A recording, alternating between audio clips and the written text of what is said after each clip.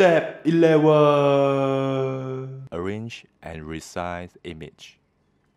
Okay, first click on the transform button and then one finger to move. Two finger to zoom in and out.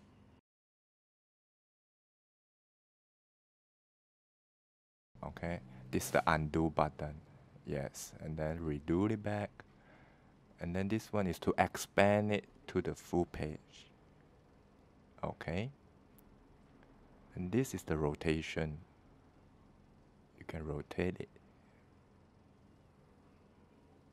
And you can flip it as well.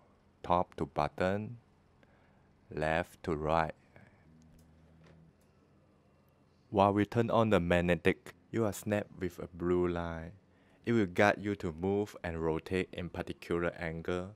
While in freeform, you are free to rotate any angle without any constraint. And once you're done and happy with the position, click on the transform button again. That's it.